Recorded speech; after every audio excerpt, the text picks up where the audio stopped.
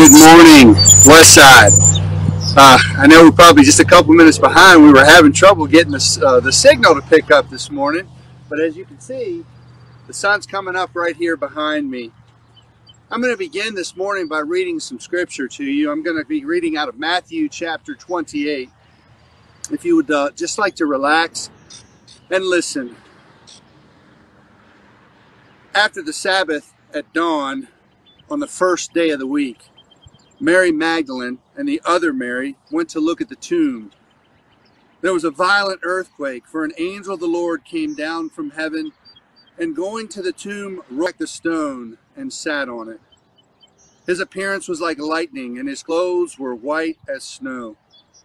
The guards were so afraid of him that they shook and became like dead men. The angels, angel said to the women, Do not be afraid for I know that you are looking for Jesus who was crucified. He is not here. He is risen, just as he said. Come and see the place where he lay. Then go quickly and tell his disciples, He has risen from the dead and is going ahead of you into Galilee. There you will see him. Now I have told you. So the women hurried away from the tomb, afraid, yet filled with joy, and ran to tell his disciples. Suddenly Jesus met them. Greetings, he said. They came to him, clasped his feet, and worshiped him. Then Jesus said to them, Do not be afraid. Go and tell my brothers to go to Galilee. There they will see me. Well, good morning officially. For those of you who have gotten up early and tuned in to be here with me on Easter morning, I want to remind you all He is risen. I'm here. Uh, I'm sure that some of you probably just responded when I said that by saying, He is risen indeed. That, in fact, is the cornerstone of our faith. And whenever I say that on Easter morning, it brings back a very fond, fond memory for me. Um, I've told you before, I have a dear friend named named John Fogarty. John has gone on to be with the Lord. He left us way too early, as far as I'm concerned, but uh, for whatever reason, God decided to call him home early. And the memory that I have is when I was in seminary on Easter morning. We hadn't even gotten up yet. It was very, very early. All of a sudden, a, a knock on my door, pounding on my door. Knock, knock, knock, pound, pound, pound, just really, really hard, woke us up. I ran down thinking something was wrong and I opened the door and my friend John is standing there screaming and he's yelling, He's alive! He's alive! He's alive! He'd been running through the neighborhood making that announcement. He ran past me, ran straight up the stairs of our apartment, right into my boys' bedroom. They were still sound asleep and he starts screaming, He's alive! He's alive! He's alive! He even grabbed one of my sons and shook him a little bit. And then he took off and ran right out my front door just like he came in and went to the next house. That's the kind of excitement that we should have on Easter morning. That's the kind of excitement that we should have every morning when it comes to the thought of our Savior and what he did for us. The fact that he is alive. That is the cornerstone of our faith. Without a risen Savior, our faith would be misplaced. The apostle Paul aptly points this out in 1 Corinthians chapter 15. And I would encourage you at some point this week to go back and read through that. 1 Corinthians chapter 15. It's quiet here this morning. I'm actually standing in the side parking lot of the Russian church on Dinkel Avenue in, in Bridgewater. I sure wish that we could physically be together this morning, but unfortunately we can't. I wish we were here to enjoy this sunrise together and follow it up with that deacon breakfast that we all look forward to. But for now, we just have to make do, and we have to be thankful that we have this technology. I'm going to do things just a little bit different than I have done in the past. Instead of having you sit there and look at me while I deliver a message this morning, I'm going to have you focus on the rising sun behind me. Just watch as it begins to peek peek out over Massanutten Mountain. I actually have a poem that I want to share with you this morning. It's a little bit of a lengthy poem, so bear with me, which is why I just want to have you listen and enjoy the sunrise. The title of this poem is From a Garden to Good News, and it was written by a lady named Viola Carlton Harden. Now, to be fair, I have to call this a collaboration piece because I have committed some sort of a sin here. I've actually tweaked her original poem in just a few places, and I've interjected a few of my own thoughts and expressions. Now, relax, but not so much that you fall back to sleep. And just as I read this poem, I want you to focus your heart and your mind on the events that led up to and surrounded that very first Easter morning in Jerusalem just over 2,000 years ago. From a Garden to Good News by Viola Carlton Harden, mostly. Lord God, the Bible tells us every day there is a land far, far away, a lovely garden in the sun where once there came the Blessed One.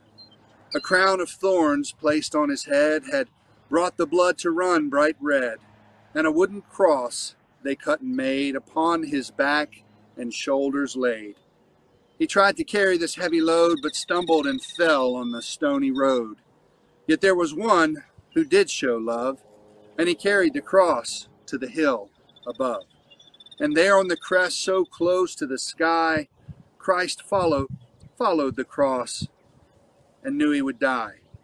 But never a word or an angry tone did he accuse those guilty? No, not one. In a faraway country, in a land gone wild, they scourged the Savior, God's only child. They tortured him, but could not break his will, so they crucified Jesus on a bleak, lonely hill. On a roughly made cross set deep in the ground, they nailed his hands and feet and adorned him with a thorny crown. The sun beat down on Jesus in a merciless glow, as his body hung there on that cross below. They had taken his robe and thrown it to the ground, and the soldiers bartered as they passed it around. A touch of water they knew he craved, but a sponge of vinegar was all they gave.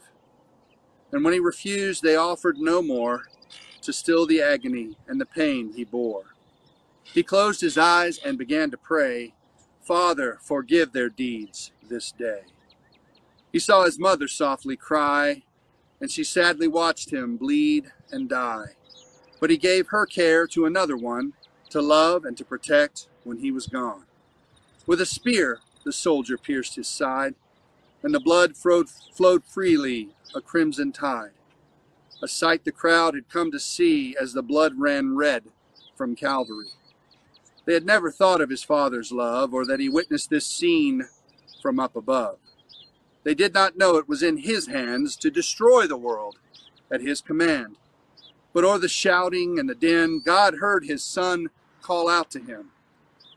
He saw each loved one stand and weep, so in death he closed his eyes in sleep. Surely God was angry now as he saw this cruel sight. For he took the bright and shining, shining sun and turned it dark as night. The thunder rolled, the lightning flashed, and panic filled the air, while frightened ones down here below saw God's power and felt his discerning stare. While Christ yet hung upon that cross, the day was nearly gone, and loved ones waited hour by hour to claim God's only Son.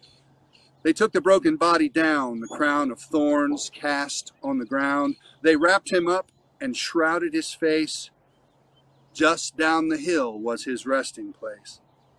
They laid him in a lonely tomb and sealed the entrance tight. God sent an angel to watch over him and guard him through the night. No one allowed to enter, no one allowed to stay, but God was watching o'er his son, and soon the stone was rolled away. One Sunday morning, early light, before the sun was nigh, loved ones came to see the Lord, to say one last goodbye. But all they saw was an empty tomb and a stone now rolled away. Had someone taken the Savior out before the light of day? An angel sat beside the tomb, and surely he was aware the world would be changed by this message of hope. The truth was in the air. The Savior was alive. Jesus had arisen. He kicked in the gates of hell and was now free from death's prison.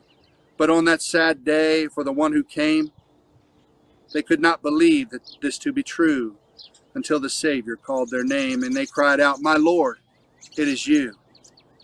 And what a great reunion there as he was greeted one by one until the Father called to him to say, My son, come home. Jesus is just a breath away. One thought can take you there.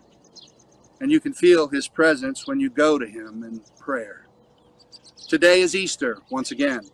So let the voices ring in praise and honor for the one who is our Lord and our King. For in that land so far away from the silence dark and gloom, our Savior rose at early dawn and came from out the tomb. Only the angels knew he arose to see him go away, but even they could not know how special was this day. The world has called this Easter morn a rebirth for the spring, but we rejoice that Jesus lives and he is coming back again. He bled and died upon that cross that you and I would live. And now he asks for love and trust that we should surely give. Ages come and ages go, but time can never dim this precious day he gave away and yet belongs to him. And that's how Easter came to us that day at the break of dawn. And that's how Easter came to us. When an angel's voice echoed through time the Savior rose this morn. Thank you for bearing with me through that poem. Her thoughts were beautiful. The sun's peeking right over top of Massanutten Mountain in these moments.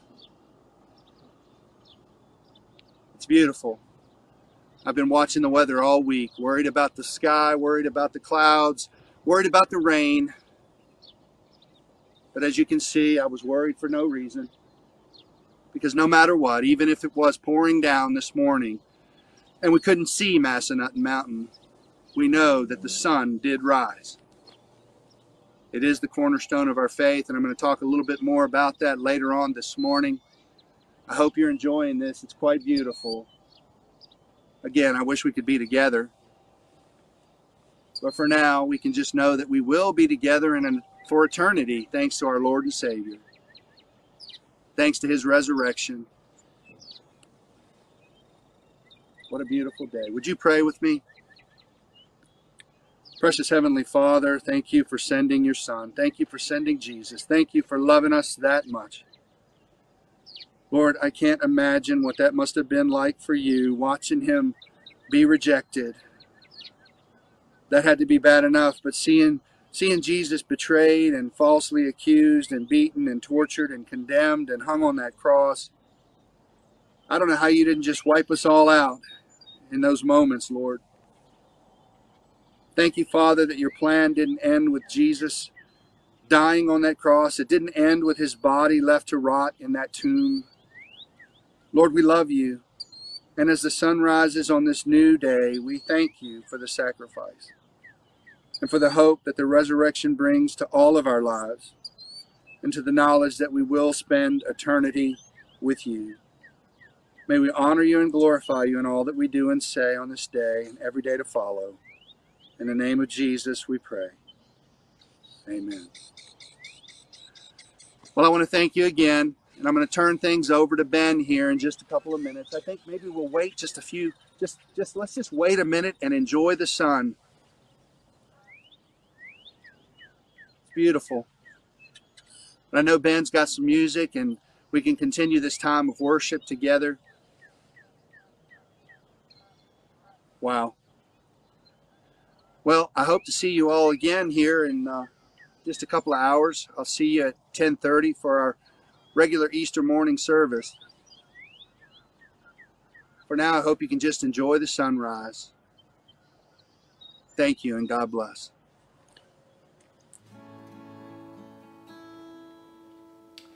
Good morning, West Side. It is bright and early. Um, it's not, you know, we're pre-recorded, so obviously it's not that early for us right now. But um, we are happy to see everybody, and we are treating this um, as Easter. So, um, as you can see, Sid's back with us. Hey guys. Um, happy to have her here. You don't have to listen to me just singing anymore. I'm sorry I had to put you through that for a couple weeks. Um, but we're just going to open up with a word of prayer before we get into our worship. So if you'll bow your heads.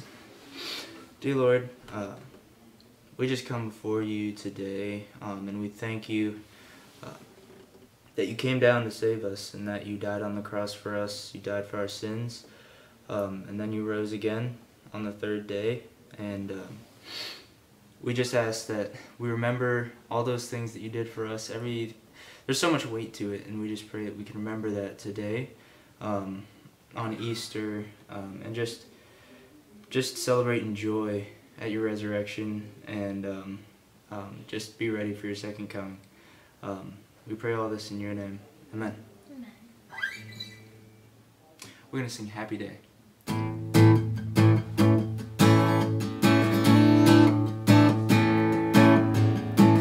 Greatest day in history. Death is beaten, you have rescued me. Sing it out, Jesus is alive. The empty cross, the. Life eternal, you have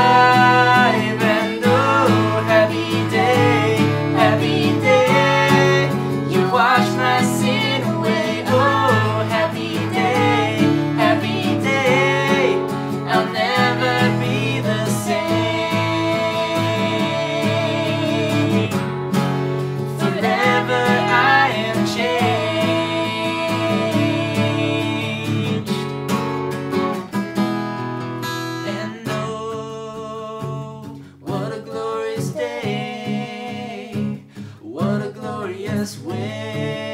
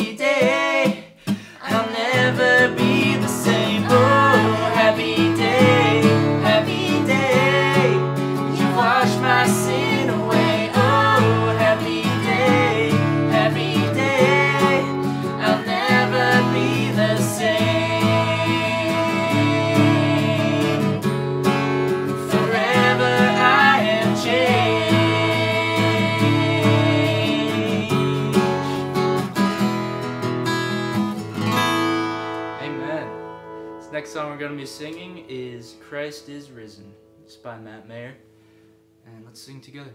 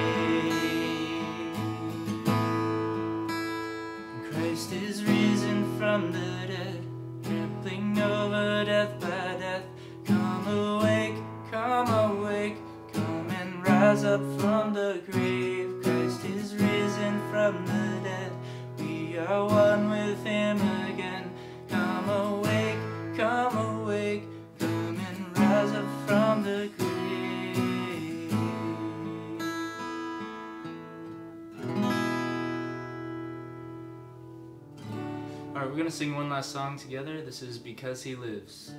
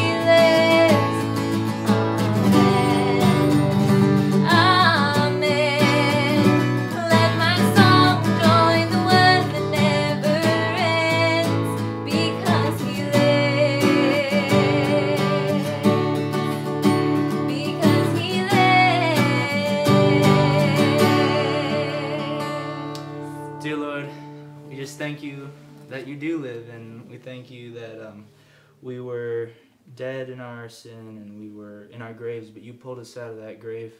Um, you lifted us up. Um, and we're just so thank- thankful for that and help us to just celebrate you today and uh, in the weeks to come and the years to come and among amongst all the circumstances of coronavirus and everything um, we still need to remember that your resurrection is an awesome thing and we can glorify you and just celebrate um, in any circumstance so thank you so much for that we love you we need you um, and just let us all go in celebration today of your resurrection. In your name we pray. Amen